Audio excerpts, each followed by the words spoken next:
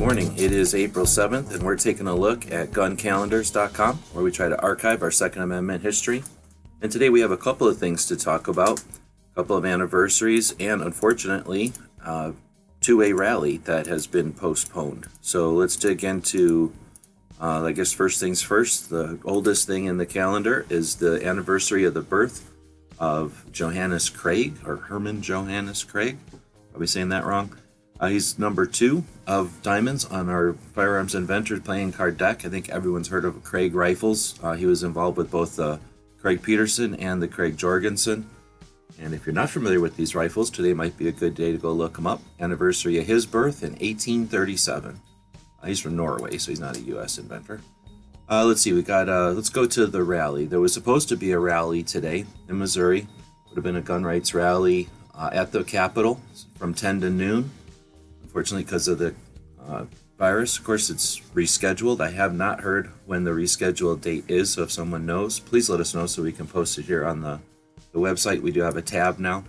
Uh, we posted earlier this year to help archive this 2A rallies.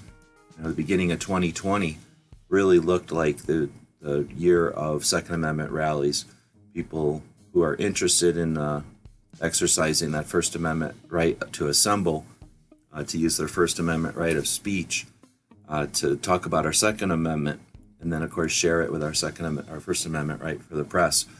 And uh, it would have been a great year to uh, experience. Of course, we have this happening now, so looking forward to these being rescheduled and to see the resurgence in that activism. And I suspect after confinement and quarantine, people might be more interested than ever to get outside and together with each other to reestablish some of those bonds that uh, we kind of lose when we only have social contact, right? Social media contact. Let us know what you think of the comments about that one. And now let's talk about another uh, unfortunate event in history. So, an anniversary of a ban, another of our import bans.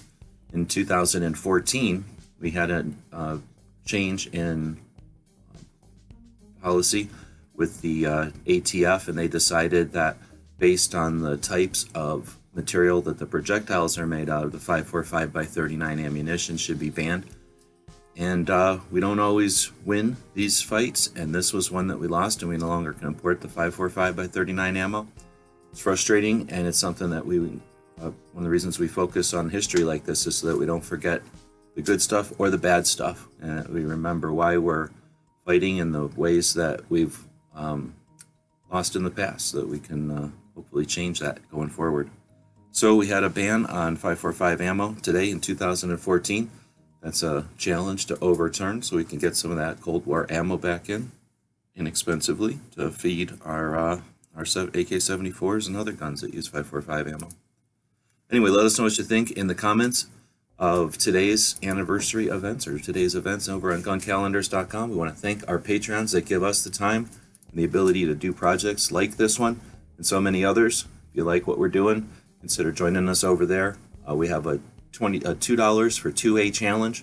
We're challenging people to take twenty dollars a month, give two dollars to us, and then give the other eighteen dollars to other content creators that you feel are valid. Do that for five months. You've spent a hundred dollars. Get back with us and let us know if you think that hundred dollar investment in Second Amendment content creation was worth it. And uh, we're interested in what you think.